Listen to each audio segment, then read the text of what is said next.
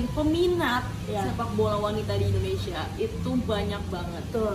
Peminat ya, ngomongin peminat. Cuma balik lagi nggak ada wadah mereka untuk Nah. menambah ilmu gitu loh. Mohon untuk Pak Zainuddin Amali sebagai Kemenpora tahun ini ya Insya Allah kalau belum diganti lagi Pak Jokowi Soalnya Pak Jokowi suka bingung soalnya dia Senangnya dalam hati asik asik asik Kalau beristri dua Lu ngapa sih Jar? Lu ngapa? Lu nangis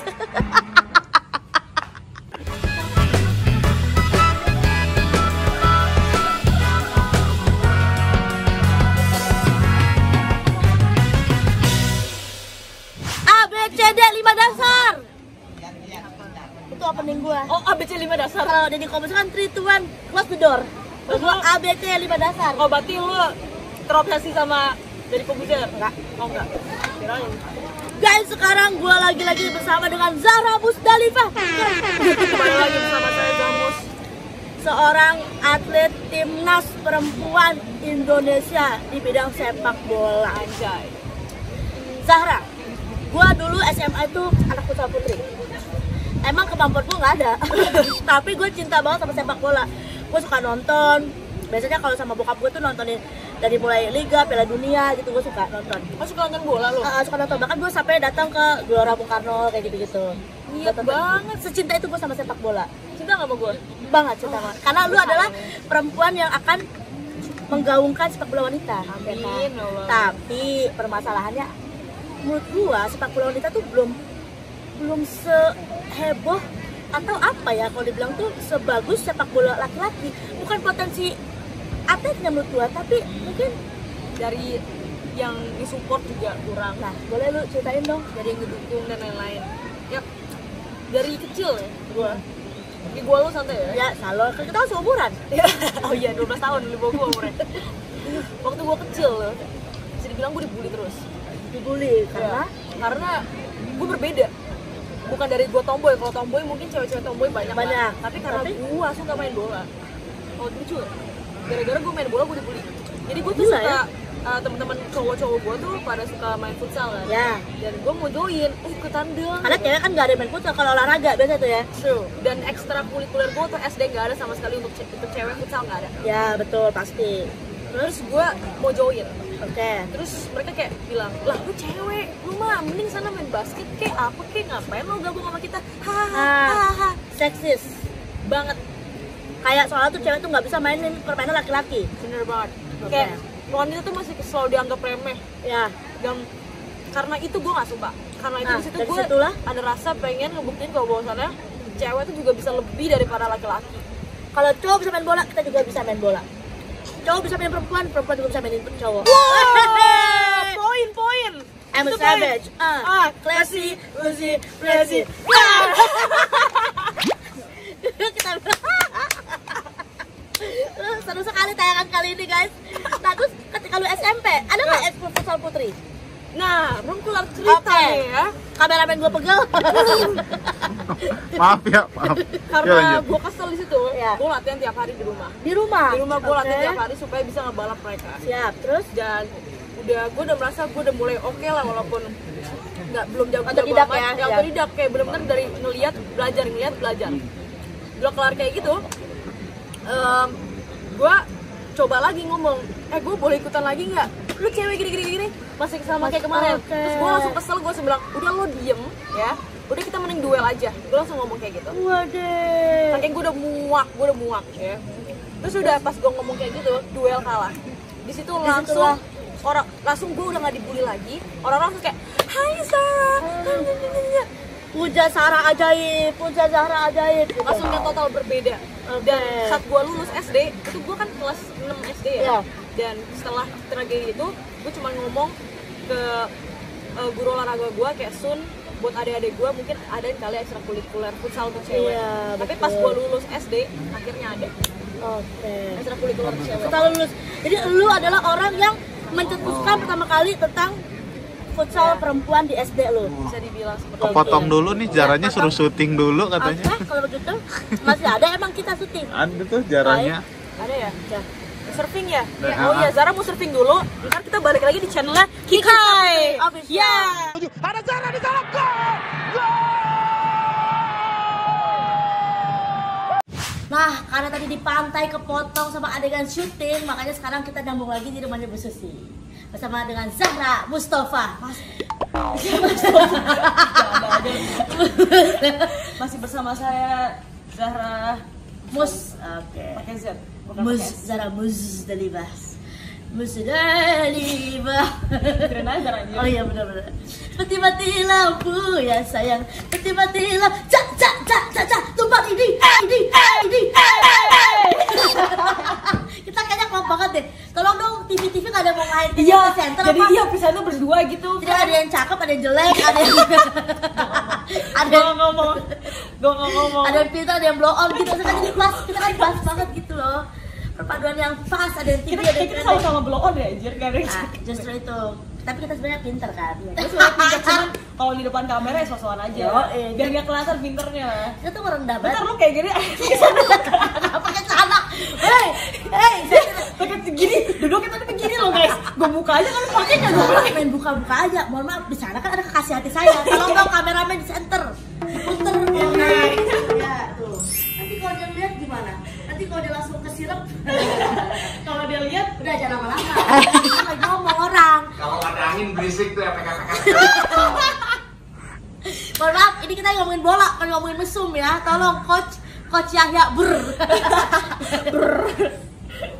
Oke, Zara, balik lagi ke topik tadi kita bahas tentang uh, pesepak bola. Pesepak bolaan wanita di Indonesia yang masih jauh dari kata apa ya? Ter apa ya? Terfasilitasi, betul nggak gue? sekali. Oke, terus harapan kamu tuh pengennya apa sih sebenarnya dengan sepak bola wanita ini? Kalau ngomongin harapan, tentunya pengennya yang terbaik ya. Kalau ngomongin harapan, tentunya inginlah at least em, aku nggak minta kita selevel sama yang laki-laki, Oke. yang dari fasilitas, support dan lain-lain. Tapi at least nggak jauh banget drastis bedanya.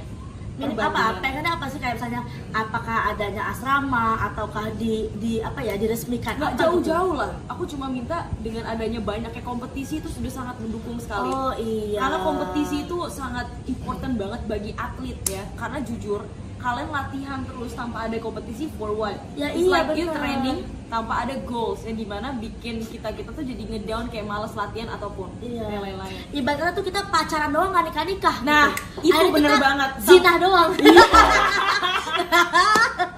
Jadi maksiat aja kerjaan gitu kan, nggak halal halal gitu kan maksudnya. Jadi supaya gampang aja perumpamaannya begitu ya kan.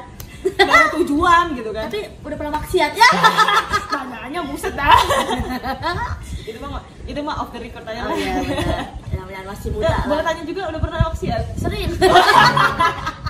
Jadi Zara tuh pengen banget banyak kompetisi buat wadah para pesepak bola wanita. Jadi juga gini loh, mungkin ya Zar, kayak misalnya pengen nih, aku pengen pesepak pesepak bola wanita, tapi ketika izin sama orang tuanya kan kayak lu ngapain, jenjang karirnya apa, wadahnya apa kan gitu ya. banyak makanya itu yang membuat kalau ngomongin peminat Ya. sepak bola wanita di Indonesia itu banyak banget Betul. peminat ya ngomongin peminat cuman balik lagi nggak ada wadah mereka untuk Nah. menambah ilmu gitu loh jadi kesannya kayak lu tuh pengen belajar tapi lu bingung belajarnya sama siapa Ya, kalau pebulu tangkis kan jelas tuh ya. Nanti ada ininya, ada ini, Iya. ada ini sehingga pasti banyak orang tua yang oh ya nih lu bakal jadi kayak Susi Susanti lu bakal jadi kayak Liliana Natsir gitu. Nah, kalau kita sepak bola ntar gua kayak Ya. Musdalifah nah gitu gua Nah. mau buat itu Betul, amin. Tapi Zahra juga butuh teman-teman yang bisa berjuang bareng sekarang. Dan karena sepak bola main 11 orang bukan satu orang Nah, itu, itu betul. yang susah jadi aku butuh butuh kalian semua butuh teman-teman juga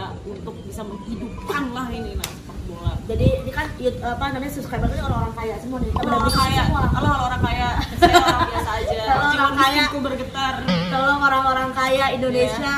Orang wujudkanlah mimpi generasi terus bangsa. Saya juga akan siap jadi eh, apa sih istilahnya ya kalau Jack Mania kan Jack Angel tuh. Jack apa sih? Angel, anjir? Dia kan kalau pendukungnya eh, Persija, Aha. Jack Mania, Iya. cewek Jack Angel. oh cewek Jack Angel Ya, kalau kalau timnas cewek apa? ya? timnas cewek Jack Garuda kali ya Oh iya. Jack Garuda. gue gak sebut dulu ya Iya. nama aja Kenapa Jack Garuda? Nggak kenal. Jack Garuda aja ya kan sponsornya dia Aduh. ya pokoknya saya siap jadi pemimpin supporter wanita lah gitu yang megangin di depan bendera naik atas pagar gitu ya Sumpah gue gak kebayang sih gue lagi main bola ada dia begini-begini gitu kan bos Zamu, Zamu, Zamu, Zamu, Zamu. Oh, gitu kan. Gue golin buat lo Sudah ku bilang jangan lawan Indonesia. Kamu merasakan akibatnya. Mendingan kamu diam di rumah saja.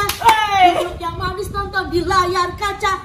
Siapa yang suruh lawan Indonesia? Darah tunjuk, tunjuk. Yes, yes, yes, yes.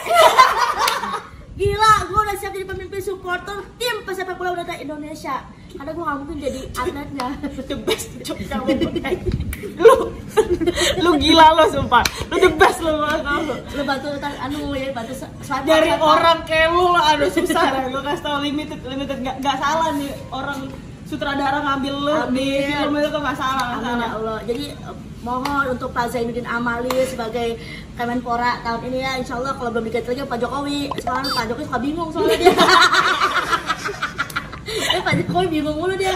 Apa jadi kita ikutan bingung ya. Aduh ampun ya ini kelar gini perut gue ber-app sumpah ketawa mulu anjir.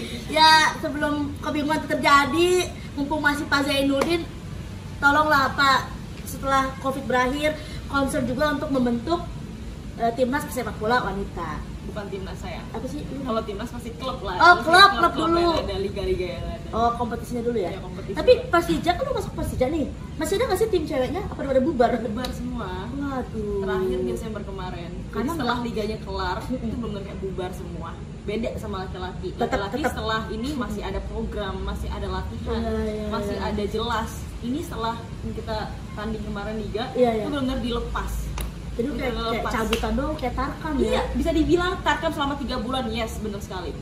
Ya ampun, kasihan banget. Kontraknya cuma tiga bulan. Coba bayangin kalau dia udah pada punya keluarga, mau makan apa dia keluarganya Toh listrik bayarnya gimana ya coba gue cewek gitu kan Iya, untuk gue masih cewek ada orang tua juga ya kan? enggak untuk gue cewek kan gue punya suami ntar dia Oh kan iya yang udah ini. dia, oh iya iya soalnya gue cowok baru Kan kan bisa. juga, gue tuh tulang punggung keluarga Gue biar kata cewek kecil pecicilan, tapi gue tulang punggung keluarga laki lu gimana itu Belum kan, belum nikah Oh, gue kalau tapi dia punya pacar. banyak Nah, itu pertanyaan khusus nih. Soalnya banyak juga follower lu kepo gitu kan. Ini Kenapa ente jadi nanya di vlog ane? Saya di vlog ente. Ya udahlah. Yang penting kita setelah ya mudah-mudahan setelah ini tayang bisa didengar oleh Amin ya Allah. oleh seluruh Orang-orang kaya di orang-orang kaya khususnya Kemenpora terus juga siapa lagi? Gua nggak paham deh tuh. siapa aja? Siapa aja kepentingan. Ya, tolong Pemilik nih. pemilik klub lah. Iya, tentunya, pemilik pastinya. klub. Gila lu, seru banget nontonin cewek main bola ya kan? Lihat bola yang di bawah apa bola yang di atas? Nah itu tuh yang sering terjadi di Indonesia masih Iya. sampai sekarang. Tapi gue kesel tau, dulu kan gue juga ini kan, yang gue bilang gue futsal putri kan Gue tuh paling benci banget dulu kalau ada orang yang bilang kayak Kalau gue lagi masuk ke lapangan lagi stretching gitu kan Searchingnya suka- gimana coba? Searching ya? Stretching Sekarang tuh yang teriak-teriak di pinggir lapangan kan Ya kan? Tuh kadang teriak di pinggir lapangan kayak gini Hati-hati tuh, woi, ntar bolanya ketukar gitu. Iya, apa gitu. Hati-hati tuh bola tiga Terus dia apa? Itu Zara juga gitu, Iya kan? suka sering. so tau banget gitu terus kayak misalnya weh uh, emang bisa lu ngebedain antara nendang sama dribble gitu so tau banget bisa Ya, tapi gue suka banget digituin. Malah gue kayak, gue pernah pernah Iya, sekali iya. digituin. Gue panggil. Dia ini kok orangnya dikira mungkin gue cewek yang yang kayak kalem atau Oh, apa kali iya, ya. Dia iya, nggak betul. tahu gue sebenarnya kayak apa gitu Strong. kan dia. Dia ngomong kayak gitu. Iya. Terus lu apain? Siapa tadi yang ngomong? Eh lu sini. ah, bagus Lihat lu tadi yang ngomong kan sini. Ah. Ya lu bisa apa sih gue gituin? Oke. Kincip gue langsung cabut. Supaya tuh gue gue langsung kayak karena gimana ya kita sebagai wanita juga harus berani lah apa sih namanya untuk bersuara gitu loh untuk nggak takut begitu iya ke sana kita tuh kita tuh main bola kayak kita tuh bego banget gitu loh gue Kayak tahu kok remeh, gue tahu gitu. kapan gue harus syuting anjay kapan gue harus dribble Yang gitu. Dribble gitu dribble udah makasih. Jangan lupa like comment, dan subscribe. gimana gua gak dihina Dina ya? Udah gua goblok. Dadah I love you. Gua nangis. Lu ngapa sih Jar? lu ngapa? lu nangis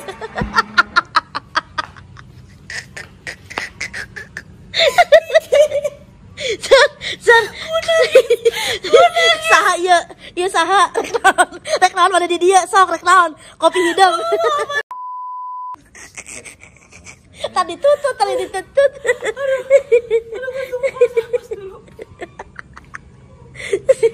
Aduh.